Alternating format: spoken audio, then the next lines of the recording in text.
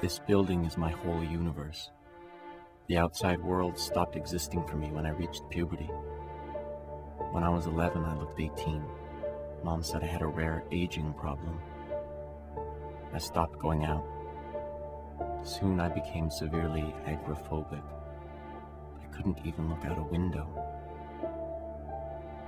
The only way I could go outside was by way of astral projection. When I'm in that state, my astral body becomes independent from my physical body. My mother suggested this method to me. She was a scientist for the Government Defense and Research Agency. After years of practice, I was close to the ultimate goal guiding my invisible body to touch things, move things in the physical world. My mom said no one had ever been able to do that before. From the moment I saw her, I loved her. I fully loved a woman I did not know.